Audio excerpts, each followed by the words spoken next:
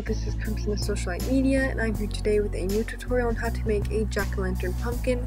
You're going to have the option to either make one that looks more aesthetically pleasing with a polymer candle inside, or one with a candle that might actually work. So, let's get to it.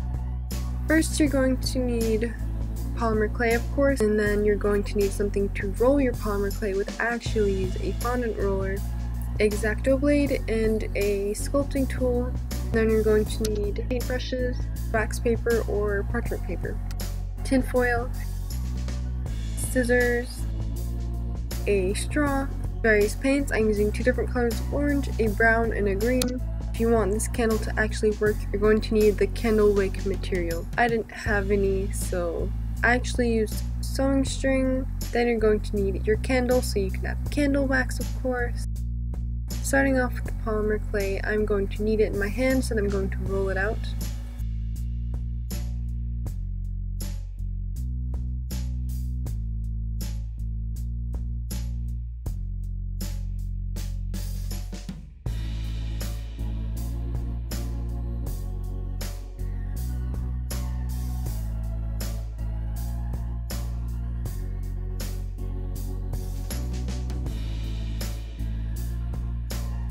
Going to take my tinfoil square and compress it into a ball.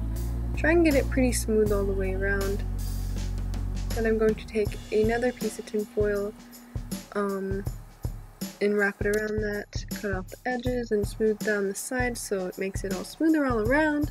The reason for putting this other layer of tinfoil is so that after you bake the clay, um, when you go to take it out of the tin foil, it makes it easier to remove. It doesn't tear your foil ball and you can reuse it. And now I didn't have so much success with removing my polymer clay from my little mat, so I had to go back and patch things up because there were holes in my clay. But just cut off excess and mold it around the foil ball Make sure everything's nice and smooth. You can roll it around in your hands to get it to that perfect ball shape. And then I had to go around with some smaller pieces of clay and add it into fill in the little dents that I had. You are going to want to press your polymer clay ball into the flat surface to give it a flat bottom and then round out the top again make sure it's not flat on the top too and taking that uh, polymer clay tool, you're going to put a little dent into the center of the bottom and into the center of the top, and you're going to draw a line from the bottom to the top. Um, I did it first in four sections, and then four more sections, so I had a total of these eight little slices.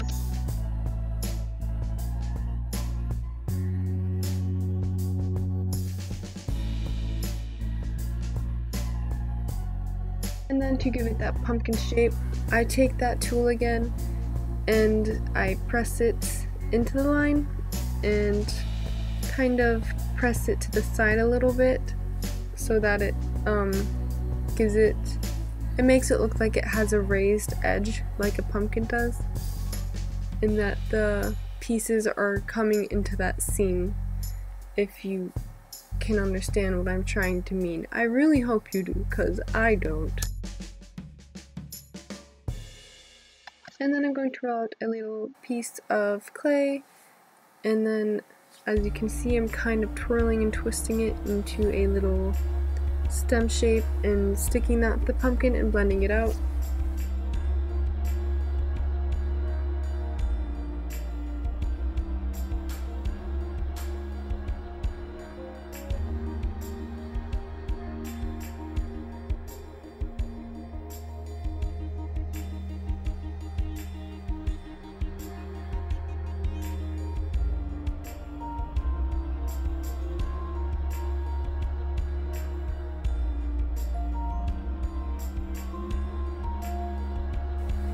And then I'm actually cutting all the way through the polymer clay and cutting out the top. You're actually you're gonna leave it all together, but you're just gonna cut in the lines and make sure you cut all the way through.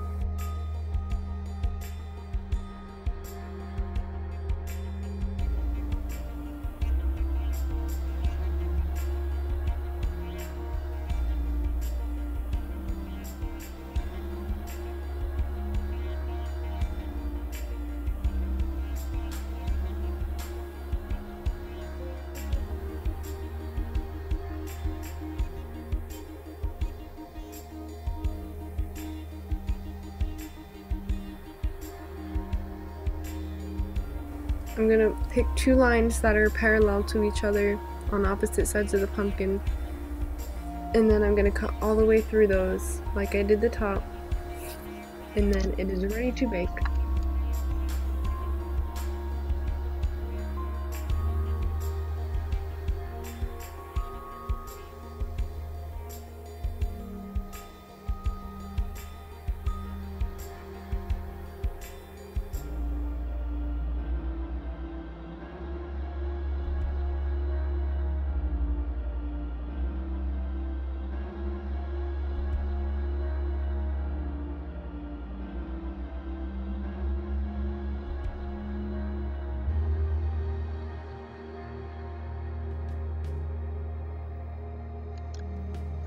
I bake my polymer clay stuff on foil, which is mostly because I don't have parchment paper.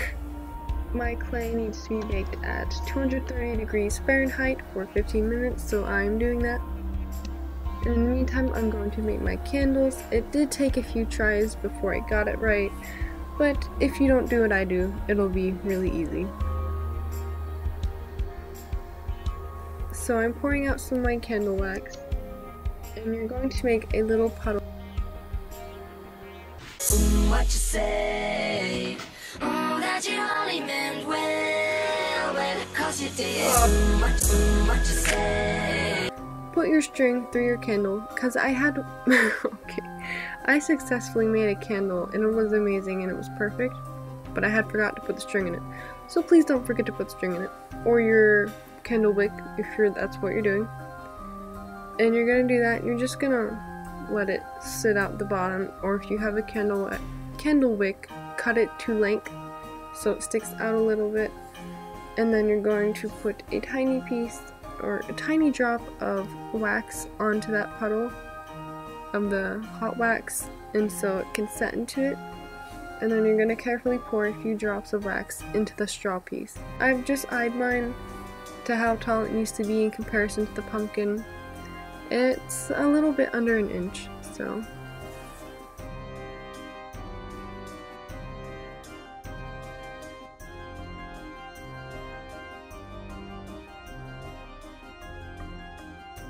And the reason I'm marking it with pencil is because that's where I thought I was going to put the face on it, but I didn't later. And then I'm taking my pumpkin now, and I'm going to cut through my um, seams that I had cut through all the way when it was before it was baked. And then I did that with the top as well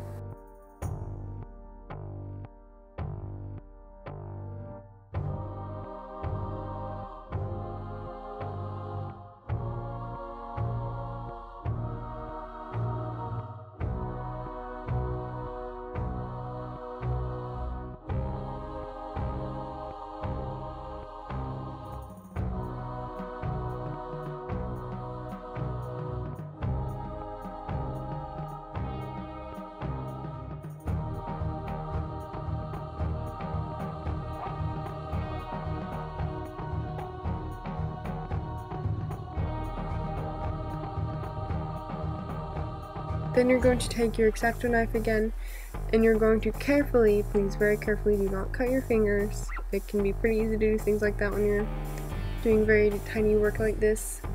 I cut out two triangle shapes for the eyes and just like a zigzaggedy mouth.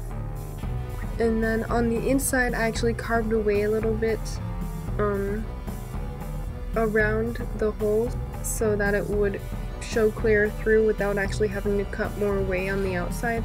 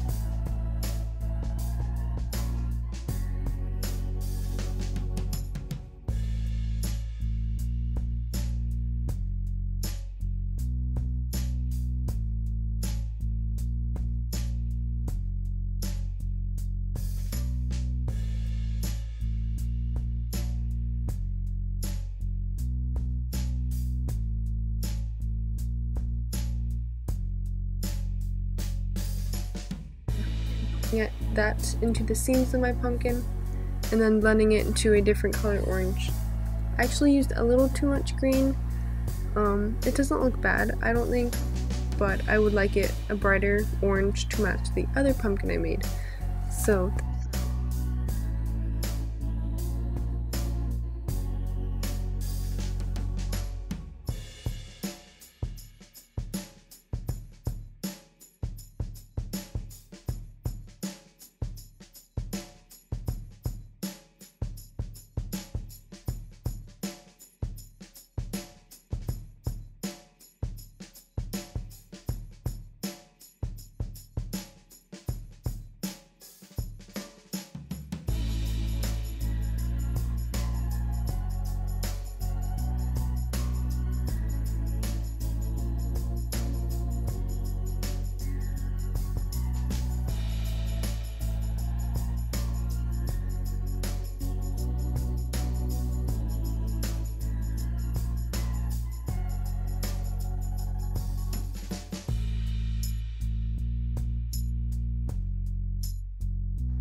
just one of the color oranges and then I just put green over it and mix it into the wet orange.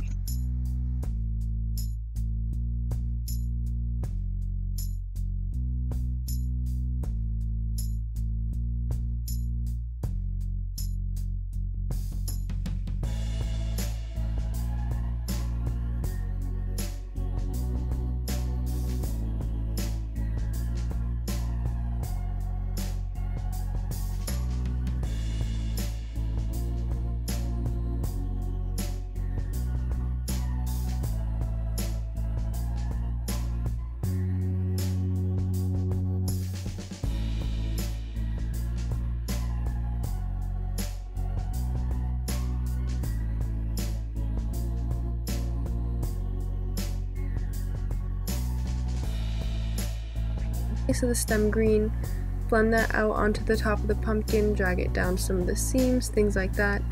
And then you're going to put brown coming from the end towards the stem and blend it into the green. Because if you look at a pumpkin, the stem is greener towards the pumpkin where it's not as dead and decaying, I guess.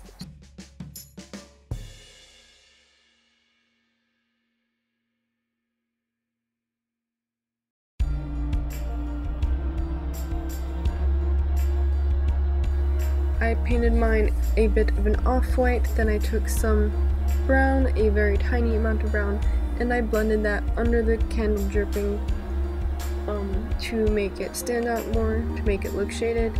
Then for the flame, I took some orange and painted that on there, as well as a yellow, and a bit of metallic gold paint.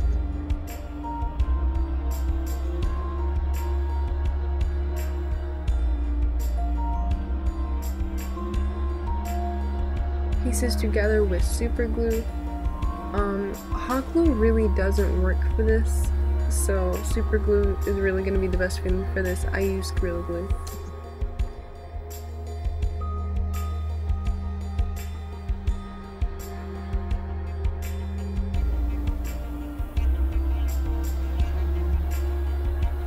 For your wax candle, you can either melt the end of your candle a little bit and stick it into the pumpkin, or you can drip a tiny bit of wax into the pumpkin and stick the candle into that.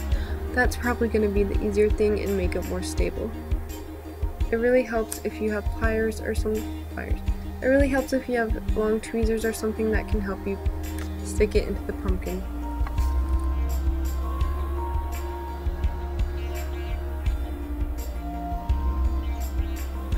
No, I glue that into the pumpkin with super glue. I also use the tweezers to help put it in there.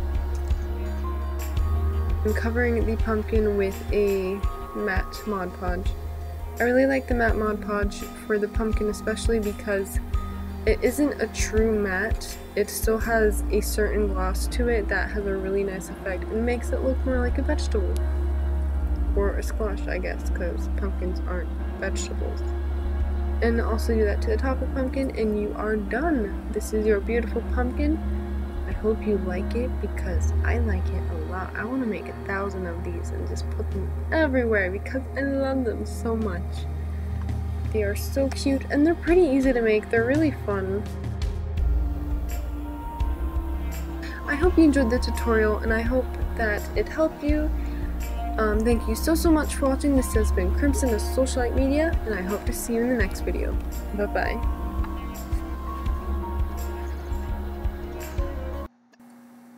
Also let me know if you would be interested in purchasing one of these pumpkins because I am debating whether or not I want to post these to for sale on my Etsy, which is etsy.com slash something something, I don't know. There's gonna be a link in the description. I'm tired. That's like every video ever. Yada yada yada. I don't know what I'm saying. I'm tired. But anyways, I hope you enjoyed the tutorial if I can speak.